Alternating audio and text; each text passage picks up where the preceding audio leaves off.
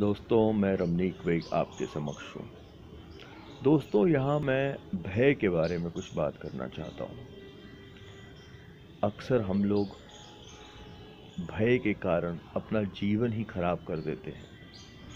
कभी बीमारी का भय, कभी कोर्ट केस का भय, कभी कम पैसे होने का भय, कभी आसक्ति अटैचमेंट्स का भय। कि ये चीज़ें हमसे छूट ना जाए। पर याद रखिए कि भय जो है हमारा शत्रु है। जो कुछ होना है, वो तो होगा ही, वो तो निश्चित है, वो तय है। तो आप अपना जीवन, प्रत्येक पल को भय की वजह से क्यों खराब कर रहे हैं? याद रखिए कि भगवान हमेशा आपके साथ है। तो इसलिए डरने की कोई बात ही नहीं। कहते हैं ना, जब भगवान हमारे साथ है तो डरने की क्या बात है?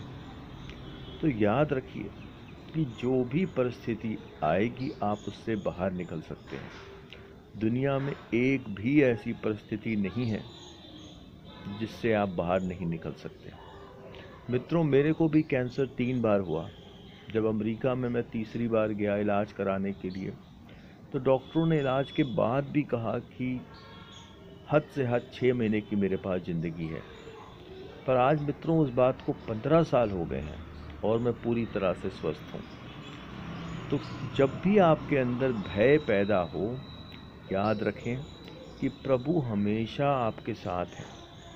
अपने जीवन में इतना उत्साह लाइए, इतना जीवन को उत्साह से भर दीजिए कि भय की कोई जगह ही ना हो। घूमिए, फिरिए, मित्रों के पास जाइए पिक्चर देखिए मॉल जाइए, छुट्टियों में इधर उधर घूमें। अपने जीवन को उत्साह से भर दीजिए कि वहाँ भय नाम की चीज़ पैदा ही ना हो सके। अच्छा दोस्तों, मैं चलता हूँ। मेरा आप सबको नमस्कार।